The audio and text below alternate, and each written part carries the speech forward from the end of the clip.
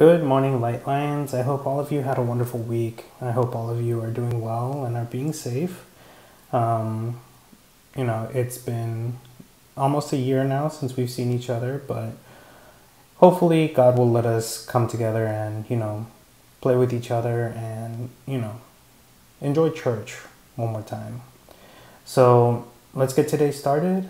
Um, let's go ahead, close our eyes, bow our heads, put our hands together, and I'll pray.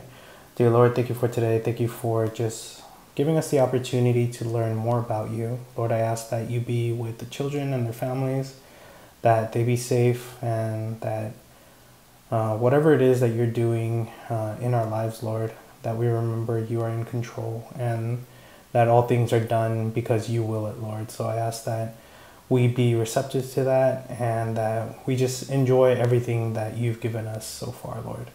Thank you for all that you've done in the name of Jesus, I pray. Amen. All right, so I'm going to continue on this part about, you know, people that got to meet Jesus, right? So we're going to talk about the man with many problems.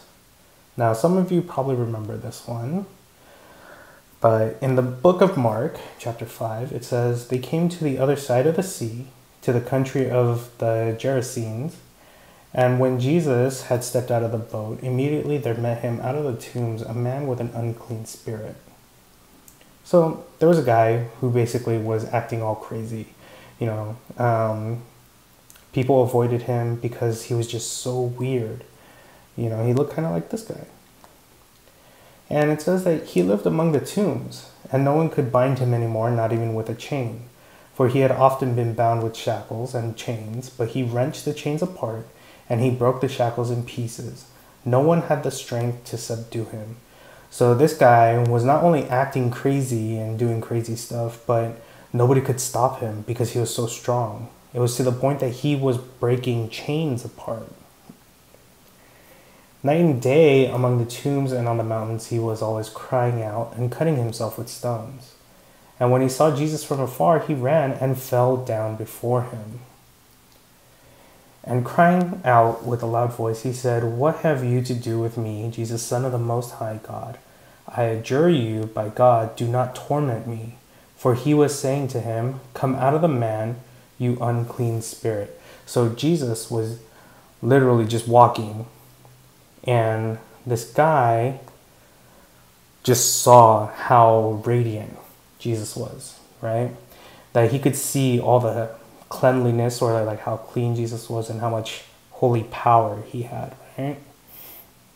And you know, the guy literally was just screaming just from being in the presence of Jesus. And Jesus was yelling at him, Come out of the man, you unclean spirit. Jesus knew exactly what was wrong with this man, why he was yelling and screaming, uh, why he was so strong, and why he was always crying in the tombs. And Jesus asked him, What is your name? He replied, My name is Legion, for we are many. And he begged him earnestly not to send them out of the country. So if you look at the bottom, the um, like the dictionary definition of legion is 3,000 to 6,000 soldiers. So the spirit that was in this man said, We are legion, meaning there's 3,000 to 6,000 spirits just living in that one man alone. That's crazy, right? So now a great herd of pigs was feeding there on the hillside, and they begged him, saying, Send us to the pigs, let us enter them. So he gave them permission, and the unclean spirits came out and entered the pigs. The herd, numbering about 2,000, rushed down the steep bank into the sea and drowned in the sea. The herdsmen fled and told it to the city and the country, and people came to see what it was that had happened. So, you know, very close by, there happened to be a very big herd of pigs, right? And there was 2,000 of them. And the spirits, because there were so many, were able to possess all those pigs, and they ended up running and killing themselves in the sea, right? That's how terrified these spirits were of Jesus and his power because they knew exactly what Jesus was capable of. And, you know, the people who were watching the pigs, obviously they saw this and they were like, this is crazy. We have to tell everybody. So here's the picture, right? If you guys remember. And they came to Jesus and saw the demon possessed man, the one who had the legion, uh, sitting there, clothed in his right mind, and they were afraid. You know, and those who had seen it described to them what had happened to the demon possessed man and to the pigs. So obviously, you know, people heard everything, but they weren't there to see it. So when they saw the guy just sitting there wearing normal clothes, acting very calm, uh, he wasn't doing any of the like crazy stuff he was doing before. They were still scared of him because they were like, what if he's faking it so that he can like hit me or something, right? And you know, a lot of people would be worried. But the people who saw the spirits being driven out and saw what the spirits did to the pig, they knew like the man was saved. And they began to beg Jesus to depart from the region. As he was getting into the boat, the man who had been possessed with demons begged him that he might be with him. So, you know, the people were afraid of Jesus because they were like, whoa, who's this guy that could make evil spirits, you know, go into pigs and then kill all the pigs, right?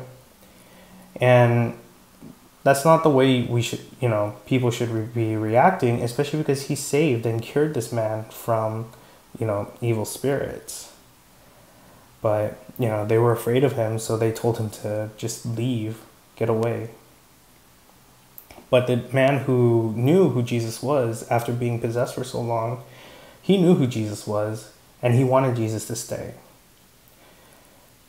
And he did not permit him, but said to him, Go home to your friends and tell them how much the Lord has done for you and how he has had mercy on you.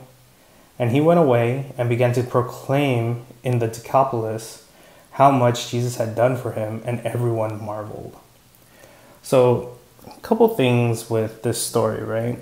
One is that, you know, people may not recognize Jesus or God immediately, but spirits you know, like spirits, demons, angels, yeah, the devil himself, they they all recognize Jesus very easily in these stories.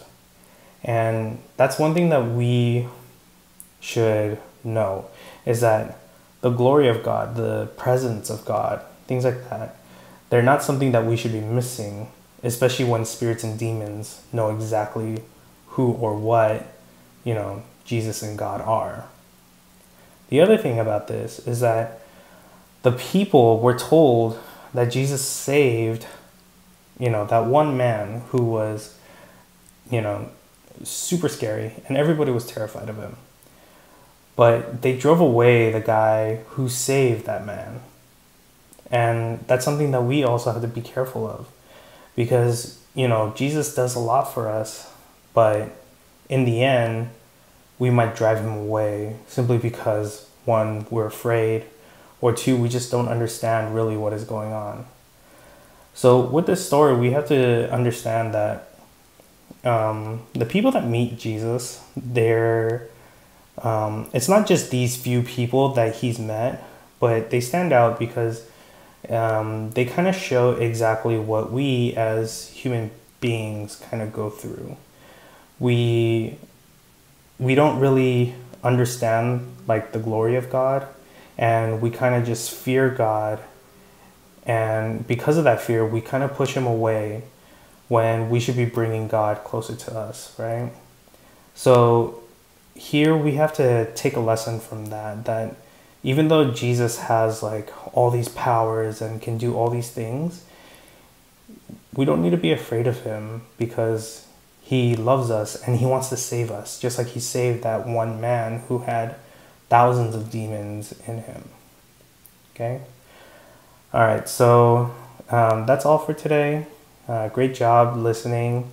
And I hope you guys are, you know, paying attention in school, doing your homework as best you can, and getting out there to exercise, okay? So I'm to go ahead and close this out in prayer, and I'll let you guys have the rest of your day, okay? So let's close our eyes, bow our heads, put our hands together. Dear Lord, thank you for today. Thank you for just giving us the opportunity to learn about, you know, just how spirits can recognize who you are and how we as human beings, we can just be so fearful of who you are. So, Lord, I ask that we not be fearful, um, but that we be delighted in your presence, that we remember you are here to save us and we are simply the lost sheep. So, Lord, I ask that we remember and truly hold in our hearts that you are the one who truly cherishes us and wants to just guide us towards heaven. Um, Lord, forgive us of our sins, forgive us of our doubts, and just give us the strength and the courage to believe, Lord, especially in these times right now. And Lord, we pray that you be with the church, um, you be with the members, you be with the families, and that you be with the teachers. But most importantly, Lord, I ask that you be with the pastor and just let him speak to the congregation and guide the congregation the way you want us to be guided, Lord. Thank you for all that you've done. In the name of Jesus, I pray. Amen. All right, everybody. Great job today, and I will see you next week. Bye.